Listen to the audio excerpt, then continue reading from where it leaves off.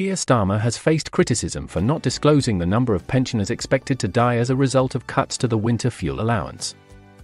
During Prime Minister's questions, Rishi Sunak challenged Starmer on whether the number of deaths would exceed the 4,000 previously predicted by Labour if the payments were means tested.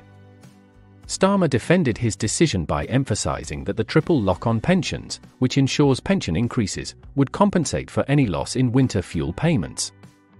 However, Starmer did not commit to maintaining other benefits, such as free bus passes and the single person council tax discount.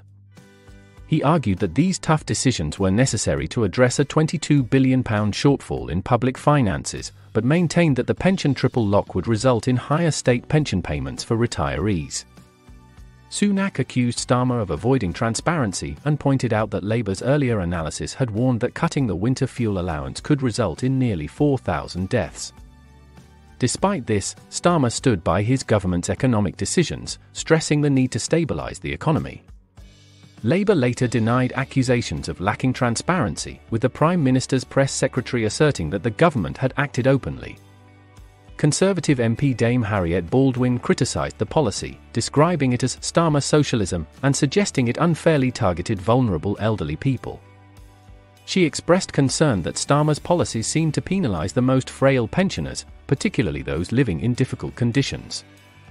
Labour's plan involves scrapping the universal winter fuel allowance, which currently provides £200 to pensioners under 80 and £300 to those over 80. The new policy would restrict payments to retirees on pension credit or other means tested benefits, aiming to save £1.5 billion. This decision has been met with opposition from various MPs, including Liberal Democrat leader Sir Ed Davey, who urged Starmer to target banks rather than cutting support for pensioners. Conservative MP Louis French also voiced concerns, questioning whether Labour would also scrap free bus passes and council tax discounts for pensioners.